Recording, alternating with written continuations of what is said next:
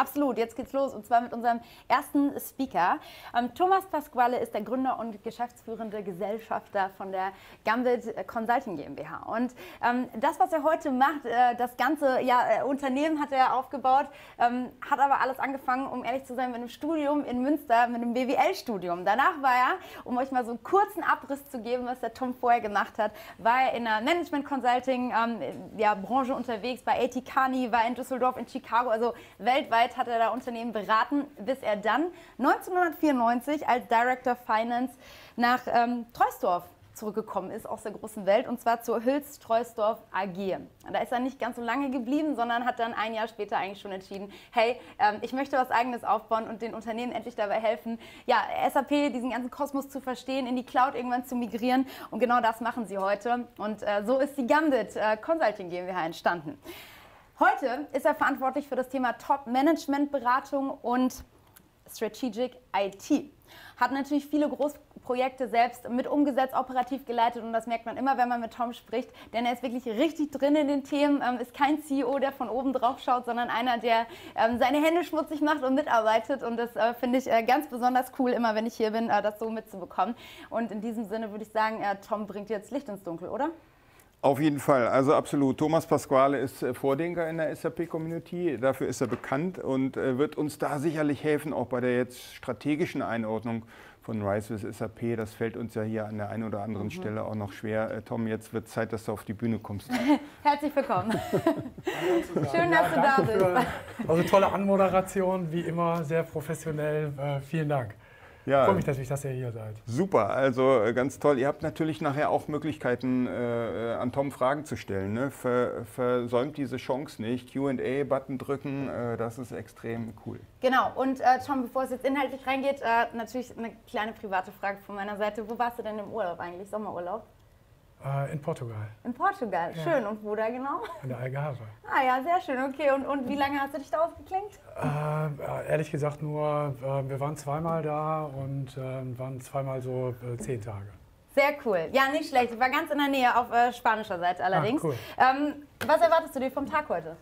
Ja, dass wir natürlich ähm, viel Licht in die Fragen der Community sozusagen ja. bringen können. Also dass wir diese Themen wirklich beantworten können. Weil ich glaube, da gibt es eine ganze Menge Fragestellungen. Da sind wir, haben wir uns äh, wirklich viel Mühe gegeben, da so ein bisschen Licht reinzubringen und freuen uns drauf. Ja, dann würde ich sagen, Helge, los geht's, oder? Ja, auf jeden Good. Fall. Also wir lehnen uns zurück und äh, die Bühne gehört dir. Danke. Alles klar, Leute, dann vielen Dank.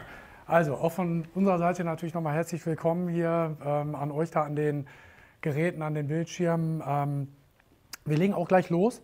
Wir ähm, die Begrüßung haben wir schon hinter uns gebracht, wie ihr seht. Und jetzt legen wir los mit dieser Thematik, was ist RISE? Leute, ich stelle nur mal gerade ganz kurz hier den Hocker ein bisschen weg, sonst laufe ich nämlich Gefahr, dass ich hier gleich vor so ein äh, Gerät hier laufe.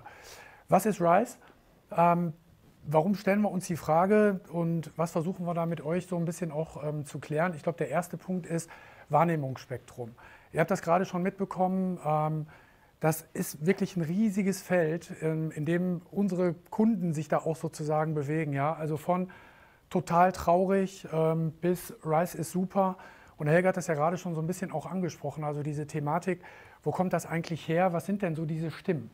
Ja, also das, was ich selber auch von unseren Kunden zum Teil ja höre, ist, hey, ist doch nur Hosting ähm, durch SAP viel zu teuer man versucht da irgendwelche Ladenhüter unter dem Deckmantel äh, Rice zu verkaufen.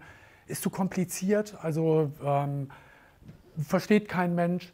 Und wenn wir uns dann mal die andere Seite angucken, dann hatte Celine ja auch gerade schon angesprochen, ist vielleicht so der Weg in die Cloud, egal ob man sich jetzt da gegängelt fühlt oder nicht, Enabler für die digitale Transformation. Ähm, manche sagen sogar, okay, ist günstiger als ein On-Premise-Betrieb. Ähm, also man könnte vielleicht sogar noch Geld sparen oder eben auch zeitgemäße Erweiterungsmöglichkeiten um diesen Digital Core herum. Also wir sehen schon, da gibt es ein riesiges Wahrnehmungsspektrum und deswegen haben wir gesagt, hey Leute, lasst uns mal die Punkte einfach versuchen, so ein bisschen, ähm, ja, wie soll man sagen, also ähm, mit sehr einfachen Worten zu erklären. Und jetzt gucken wir erstmal genau, was ist denn da überhaupt drin. Und ich glaube, das ist keine Überraschung. Das Thema der Lizenzen, da haben wir gesagt, okay, wir haben eine Lizenzmiete, wir haben eine Anrechnung, und wir haben natürlich eine Wartung. Ich glaube, das überrascht keinen von euch. Das war ähm, immer klar. Da hören wir nachher auch ein bisschen was zu. Im Übrigen zu allen von diesen Themen hören wir nachher noch ein bisschen was. Also ähm, Lizenzen hören wir was, Wartung hören wir was und zu allen anderen Boxen gleich auch noch. Das heißt, wir legen die für euch gleich auch noch mal alle ein bisschen tiefer. Dann haben wir das Thema Betrieb. Ähm, auch vorhin schon angesprochen worden, Private und Public Cloud. Gucken wir uns auch nachher noch mal gemeinsam an, was bedeuten diese beiden Cloud. Wir haben Varianten, wir haben das Thema Managed äh, Services und wir haben natürlich das Thema Infrastruktur. Auch da hören wir nachher noch ein bisschen was zu. Dann ganz wichtig finde ich nochmal dieses Thema Lifecycle Management. Also wir haben das Thema Cloud ALM, finde ich, gibt es nachher nochmal einen super spannenden Vortrag auch von der Nadine. Cloud ALM ist ja so ein bisschen dieser Nachfolger für den Solution Manager, also die, das Application Lifecycle Management in der Cloud. Wir haben das Update Management und auch ganz wichtig, wir haben das Testmanagement. Das heißt also, ähm, professionelle Unterstützung, wenn sich Updates eben entsprechend ergeben, ich die in meine Prozesse sozusagen mit reinbringe, wo ändert sich was für mich und was bedeutet das. Und jetzt wird es aus meiner Sicht besonders interessant, weil wir kriegen jetzt so ein paar ähm, Punkte mit, die die SAP da mit beigepackt hat. Natürlich nicht im Sinne einer Flatrate, sondern hier steht schon als Starter Packs. Ja, das heißt also, wir kriegen aus dem digitalen Kontext für das Thema Ariba, für das Thema Asset Intelligent Networks, für Logistics Business Networks Möglichkeiten, sozusagen Starter Packs eben entsprechend mit zu buchen, mit auszuprobieren, mal in unsere digitale Architektur und in den Kontext sozusagen dieses digitalen Modells von der SAP reinzuschnuppern. Ganz wichtig das Thema Cloud Development. Werden wir gleich im nächsten Vortrag nochmal hören. Diese Frage Keep the Core Clean. Also was bedeutet das eigentlich, in einer modern aufgesetzten S4-Umgebung mit einem S4-System zu arbeiten. Und dafür brauchen wir auch diese Business Technology Plattform. Da gibt es Voucher für. Ja? Dann auch nochmal ganz wichtig, das ganze Thema Design. Ihr habt das ja mitbekommen, das Signavio ist ja gekauft worden von der SAP und auch da gibt es in bestimmten Editionen von RISE eben die Möglichkeit, das mit zu integrieren und entsprechend mit auszuprobieren. Dann haben wir das ganze Thema Transition, auch ganz wichtig. Also ich glaube, das ist jetzt auch keine äh, richtige Überraschung, dass wir hier diese Transition-Apps sozusagen mit dabei haben. Und ähm, den finde ich immer noch ganz wichtig, wir haben das Enable Now mit drin. Also diese digitale Lernplattform von der SAP, um dort auch Learning Journeys digital eben entsprechend hinterlegen zu können. Also das mal so ganz im groben erstmal so ein Abriss von dem, ähm, aus was RISE im Kern besteht. Jetzt fand ich ganz, wichtig, äh, ganz witzig diese Analogie, mal zu sagen, okay, man kann sich das so ein bisschen vorstellen wie so eine pauschale Reise. Ja? Also wir haben so ein bisschen mit so einem Wortspiel, also Reise wie eine Reise mit SAP. Ähm, und da kennt ihr das auch, wenn ihr eine Reise bucht. Da habt ihr in der Regel so feste Buchungsbestandteile drin. Das kann ein Flug sein, das kann ähm, eine Übernachtung sein, das kann eine Verpflegung sein. Und das ist beim Rise im Prinzip ganz ähnlich. Also es gibt so feste Buchungsbestandteile, um die kommt man nicht drum herum. Also das sind so diese Must-Haves. Da haben wir die Lizenzen, da haben wir den Betrieb und da haben wir das Lifecycle Management.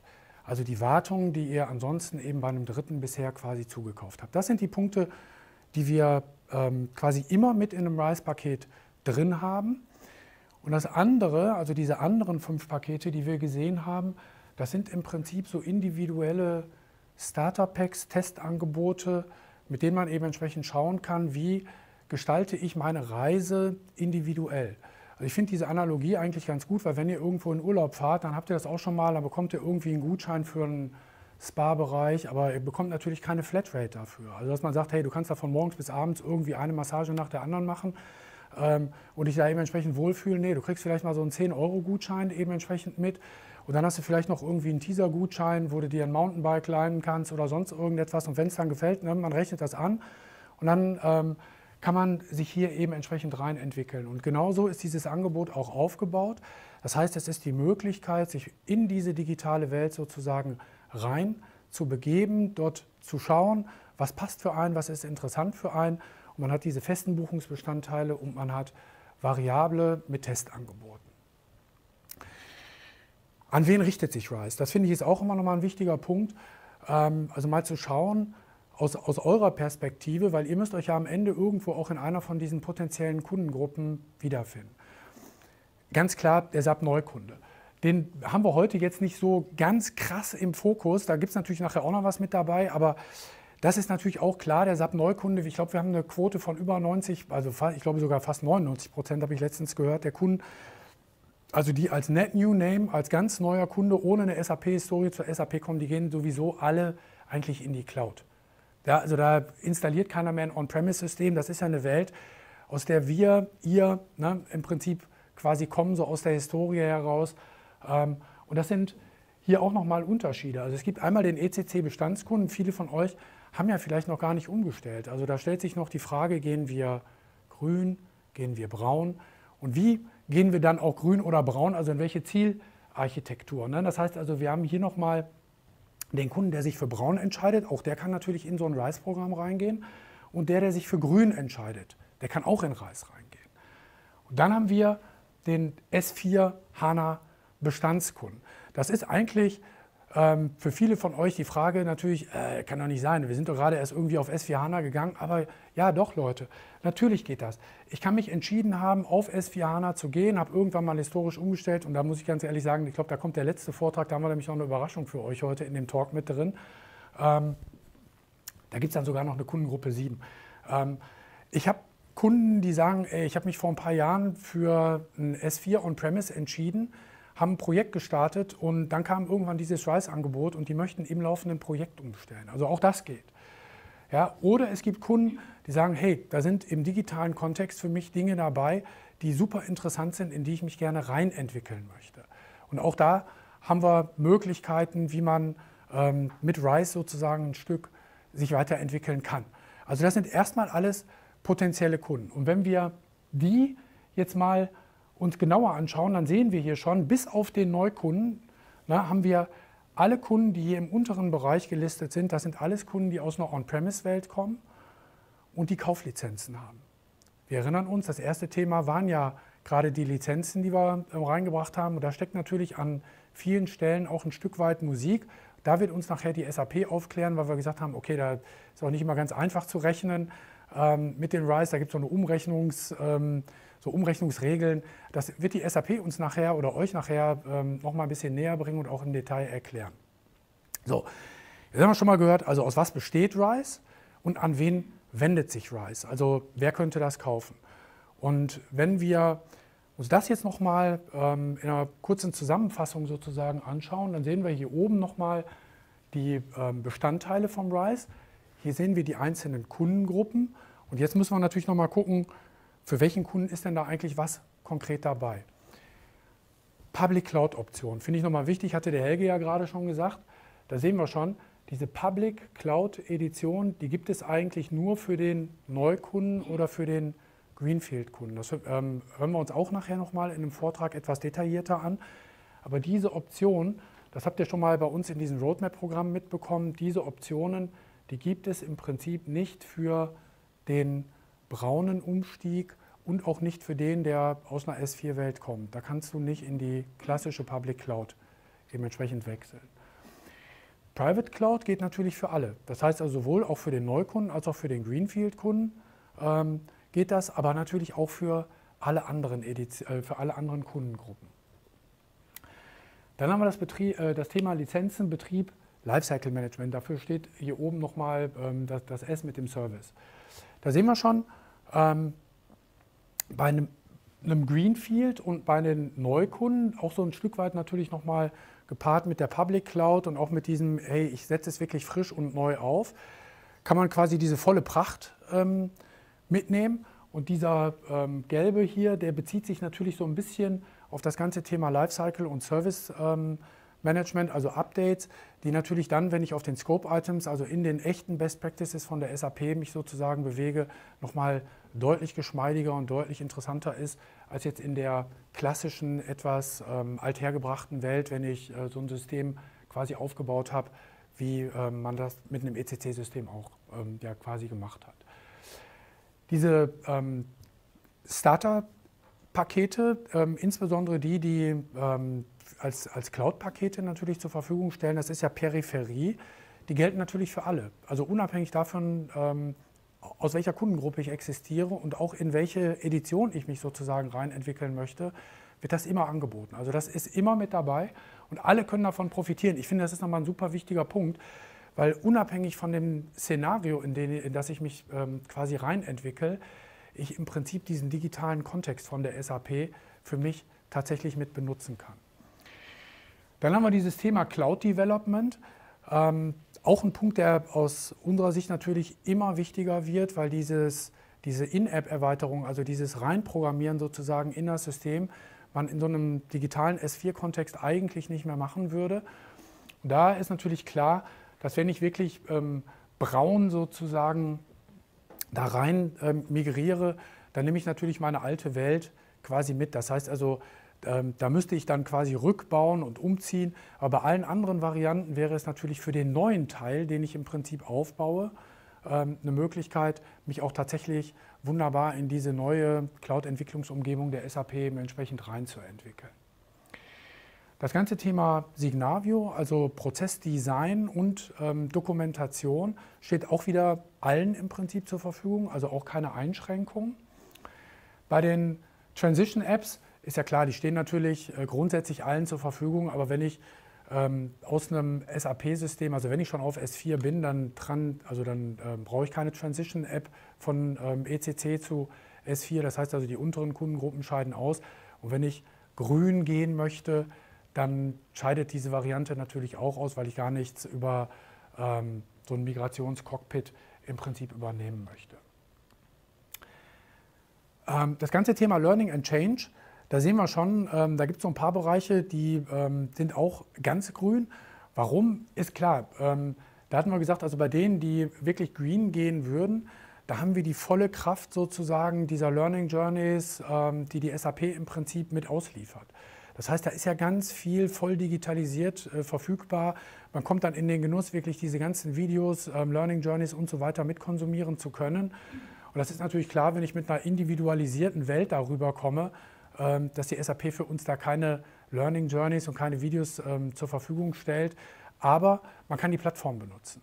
Ja, das heißt also, wenn ihr da ähm, eigene Journeys sozusagen aufbauen wollt, dann kann man natürlich mit der Plattform eben entsprechend arbeiten und die ist dann natürlich auch wieder für alle mit drin. Und ich habe da oben nochmal so ein Sternchen dran gemacht.